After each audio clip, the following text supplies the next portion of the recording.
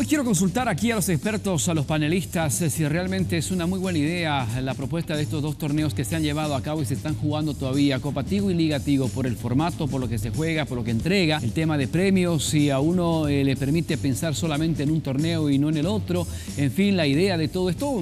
seguramente pensado lo que ocurrió en el año pasado, donde se tuvo un torneo seriado exitoso y un eh,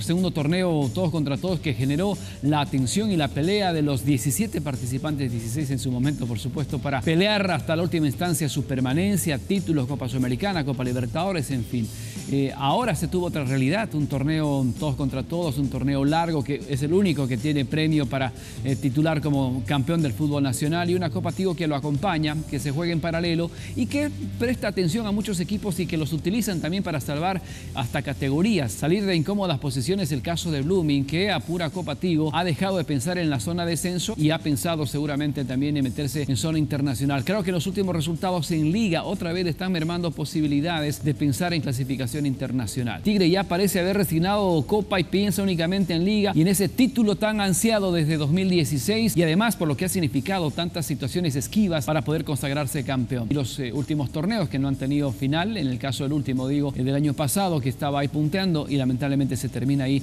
no puede ser campeón. Tigo Sports.